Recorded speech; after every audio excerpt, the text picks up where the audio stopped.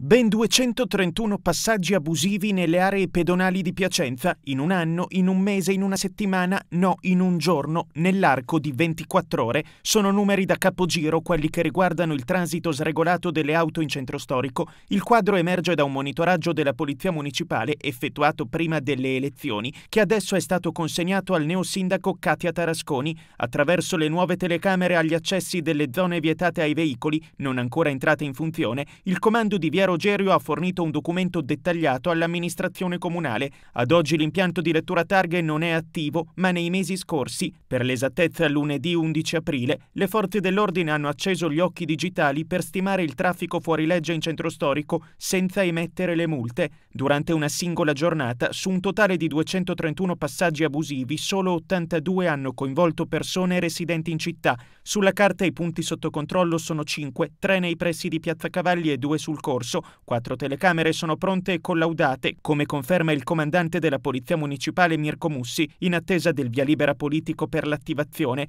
ma un'altra, all'angolo tra via Mazzini e via Cittadella, aggiunge Mussi, risulta mancante in seguito ad alcuni ritardi tecnici.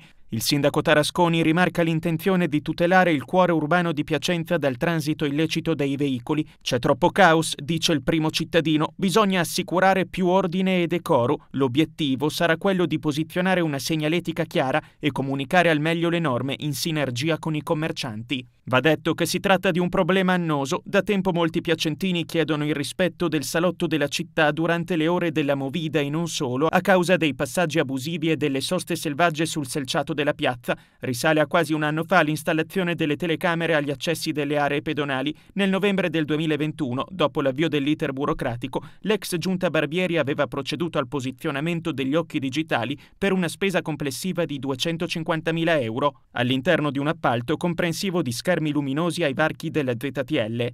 Ad oggi però l'impianto non è ancora attivo.